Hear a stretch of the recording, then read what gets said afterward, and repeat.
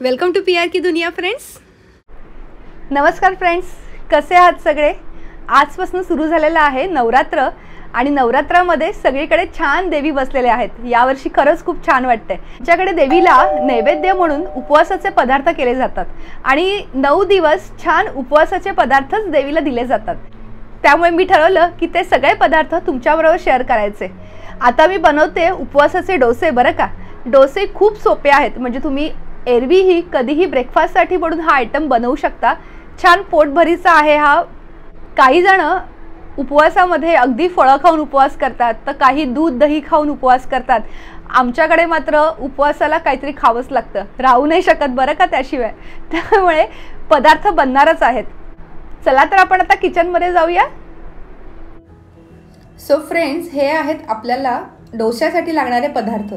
यामध्ये आपण आधी घेतलेले आहेत ते वऱ्याचे तांदूळ किंवा वरईचे तांदूळ असं म्हणतात. हे उपवासाचे असतात बरं का?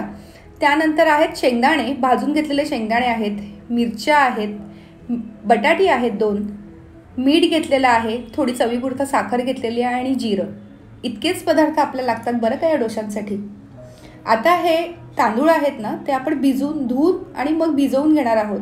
अगदी तुम्ही अर्धा तास भिजवू शकता किंवा आपलं बाकीची तयारी होईपर्यंत भिजवले तरी चालतात. आता मी हे तांदूळ भिजवून घेतलेले आहेत ते वाटून घेतलेले आहेत मिक्सरमधनं बारीक वाटून घ्यायचे छान. आणि त्यामध्ये आपण आता हे बाकी सगळे जिन्नस घालणार आहोत. शेंगदाणे सुद्धा वाटून घेतलेत आणि बटाटी बारीक किसून घेतलेली आहेत बरं का? आणि हो हे वरईचे तांदूळ वाटताना आधीच जास्त पाणी नाही घालायचं बरं का? नाहीतर ते छान बारीक वाटले जाणार नाहीत. त्यामुळे अगदी थोड्या पाण्यातच छान वाटून घ्यायचे बारीक. एक एक पदार्थ त्यात घालायला लागणार आहोत. ही आहेत किसलेली बटाटी. सगळी बटाटी त्या वरईच्या तांदळात घालून घ्यायची आहेत म्हणजे त्या पिठामध्ये आपल्याला काढून घ्यायची आहेत.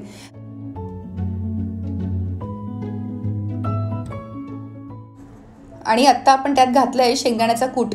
तुम्हाला जसा आवडेल त्याप्रमाणे घालू शकता. मी थोडा ठेवला आहे यातला. आणि हे मिरची आणि जिरं वाटून घेतलेलं आहे आपण ते घातलं आहे आता. मीठ घालायचं आहे आणि साखर घालायची आहे आणि हे सगळं छान मिक्स करून घ्यायचं आहे.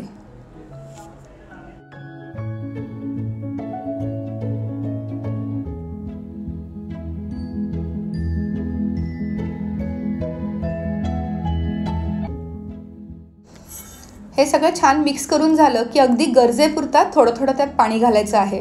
म्हणजे खूप पातळ होता कामा नये ह्याची काळजी घ्यायची बरं का? आणि आता हे सगळे जिन्नस आपण छान मिक्स करून घेणार आहोत बरं का?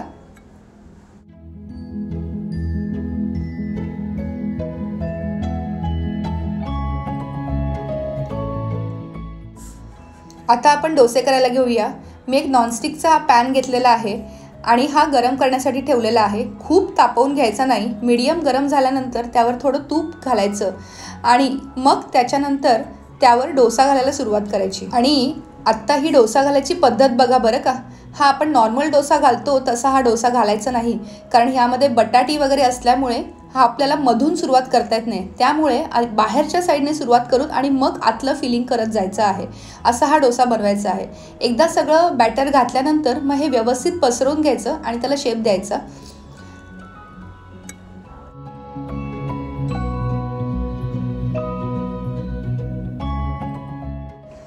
आणि मग त्यानंतर थोडंसं साईडने तूप सोडून त्यावर आपण झाकण ठेवून देऊ. आणि काही मिनटासाठी तो शिजवण्यासाठी म्हणून ठेवू. कारण यात आपण बटाटी घातलेली आहेत आणि बटाटी शिजणं गरजेचं आहे. आणि अगदी मंद आचेवर आपण आता ठेवणार आहोत.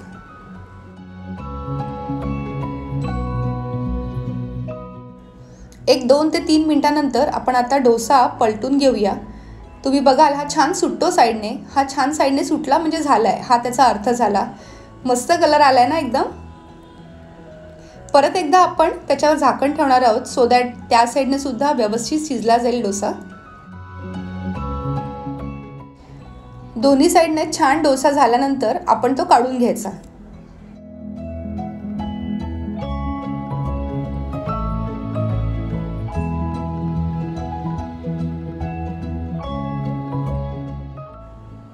मी तुम्हाला आणखीन एकदा हा डोसा बनवून दाखवते कारण ह्या डोसा बनवण्याची पद्धत वेगळी आहे. आणि तुम्ही आता हे बघाल हे बॅटर आहे ना हे एव्हरी टाईम म्हणजे तुम्ही जेव्हा जेव्हा डोसा बनवणार तेव्हा हे छान मिक्स करून घ्यायचं. अदरवाईज त्याची जी बटाटी आहेत ना ती फक्त तळाशी राहतात आणि वरती पाणी राहतं. त्याच्यामुळे आपण हे मिक्स करूनच घ्यायचं आणि साईडने डोसा करायला घ्यायचा.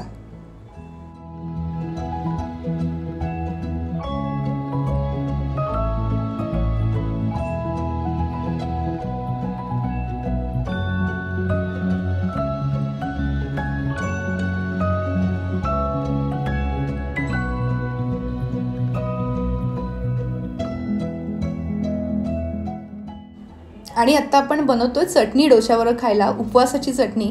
यामध्ये जिरं साखर मीठ मिरच्या आणि खोबरं इतकंच घेतलेलं आहे. तुम्हाला आवडत असेल किंवा तुम्ही खात असाल तर कोथिंबीरसुद्धा घालू शकता. आम्ही उपवासाला कोथिंबीर खात नाही त्यामुळे नाही घेतली. आता आपले डोसेसुद्धा होत आहेत आणि मी एका साईडला चटणी वाटून घेते.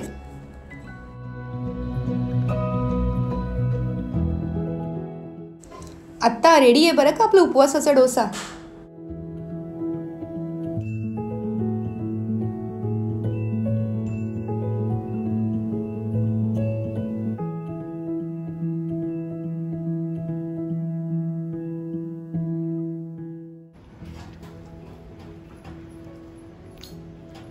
कसं झालंय मनीष? मस्त मस्त. कसे वाटले फ्रेंड्स उपवासाचे डोसे? खूप सोपे आहेत ना बनवायला आणि खूप झटपट बनून होतात. तुम्ही नक्की कमेंट करून सांगा तुम्हाला हा पदार्थ माहिती होता का? कारण हा पदार्थ मी माझ्या आईकडनं शिकले. आणि ह्या पदार्थामध्ये मजा अशी आहे की एरवीसुद्धा आपण पटकन खाऊ शकतो आणि छान पोट भरतं. सगळे जिन्नस पण आपल्या घरामध्ये नेहमी अवेलेबल असतात असेच आहेत. आणि चटणीही खूप सोपी आहे तुम्हाला कळलं असेलच. Sir thank you so much for watching आणि उद्या नवीन पदार्थ असेल आणि नवीन पदार्थ तोही मी तुम्हाला दाखवणार आहे. तुमच्या कमेंटची मी नक्की वाट बघते बरं का? आणि तुमच्याकडे सुद्धा छान छान पदार्थ असतील तर ते सुद्धा मला कमेंट करून सांगा. तेही आपण ट्राय करूया.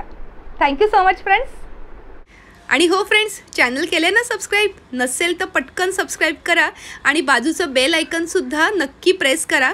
म्हणजे तुम्हाला आमचे सगळे अपडेट्स आणि सगळे नवीन व्हिडिओ येत राहतील. नक्की राहा आमच्याबरोबर. लवकरच भेटूया. उद्या पुन्हा. Bye for now